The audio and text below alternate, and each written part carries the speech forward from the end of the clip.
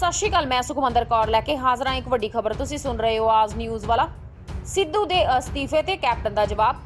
ਪੰਜਾਬ ਦੇ ਮੁੱਖ ਮੰਤਰੀ ਕੈਪਟਨ ਅਮਰਿੰਦਰ ਸਿੰਘ ਨੂੰ ਨਵਜੋਤ ਸਿੰਘ ਸਿੱਧੂ ਨਾਲ ਕੋਈ ਵੀ ਸਮੱਸਿਆ ਨਹੀਂ। ਇਸ ਦਾ ਖੁਲਾਸਾ ਕੈਪਟਨ ਨੇ ਖੁਦ ਸਿੱਧੂ ਦੇ ਮੰਤਰੀ ਮੰਡਲ ਵਿੱਚੋਂ ਅਸਤੀਫਾ ਦੇਣ ਮਗਰੋਂ ਕੀਤਾ ਹੈ। ਦਿੱਲੀ ਪਹੁੰਚਦੇ ਹੋਏ ਕੈਪਟਨ ਅਮਰਿੰਦਰ ਸਿੰਘ ਨੇ ਕਿਹਾ ਕਿ ਉਹਨਾਂ ਨੂੰ ਪਤਾ ਲੱਗਾ ਹੈ ਕਿ ਸਿੱਧੂ ਨੇ ਆਪਣਾ ਅਸਤੀਫਾ ਉਹਨਾਂ ਦੇ ਦਫ਼ਤਰ ਭੇਜ ਦਿੱਤਾ ਹੈ। ਅਸਤੀਫਾ ਦੇਖਣ ਮਗਰੋਂ ਹੀ ਅਗਲਾ ਫੈਸਲਾ ਕੀਤਾ ਜਾ ਸਕਦਾ ਹੈ। ਮੁੱਖ ਮੰਤਰੀ ਨੇ ਪੱਤਰਕਾਰਾਂ ਨਾਲ ਸੰਖੇਪ ਜਿਹੀ ਗੱਲ ਕਰਦਿਆਂ ਕਿਹਾ ਕਿ ਉਹਨਾਂ ਸਿੱਧੂ ਨੂੰ ਬੇਹੱਦ ਮਹੱਤਵਪੂਰਨ ਵਿਭਾਗ ਦਿੱਤਾ ਸੀ, ਪਰ ਵਜ਼ਾਰਤ ਛੱਡਣਾ ਉਹਨਾਂ ਦੀ ਮਰਜ਼ੀ ਹੈ। ਜ਼ਿਕਰਯੋਗ ਹੈ ਕਿ ਸਿੱਧੂ ਨੇ ਐਤਵਾਰ ਨੂੰ ਪੰਜਾਬ ਵਜ਼ਾਰਤ ਤੋਂ ਆਪਣੇ ਅਸਤੀਫੇ ਦਾ ਖੁਲਾਸਾ ਕੀਤਾ ਸੀ। ਅਸਤੀਫਾ ਰਾਹੁਲ ਗਾਂਧੀ ਨੂੰ ਸੰਬੋਧਨ ਕੀਤਾ ਹੋਣ ਕਰਕੇ ਸਿੱਧੂ ਦੇ ਕਈ ਸਾਥੀ ਕਾਂਗਰਸੀ ਲੀਡਰਾਂ ਨੇ ਉਹਨਾਂ ਦੀ ਆਲੋਚਨਾ ਕੀਤੀ ਸੀ।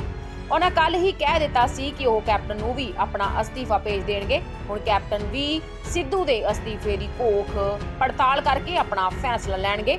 ਸੋ ਇਹ ਸੀ ਹੁਣ ਤੱਕ ਦੀ ਵੱਡੀ ਖਬਰ ਨਵੀਆਂ ਤੇ ਤਾਜ਼ਾ ਖਬਰਾਂ ਨਾਲ। ਫਿਰ ਹਾਜ਼ਰ ਹੋਵਾਂਗੇ ਤਦ ਤੱਕ ਲਈ ਸੁਣਦੇ ਰਹੋ ਆਜ਼ ਨਿਊਜ਼ ਵਾਲਾ.com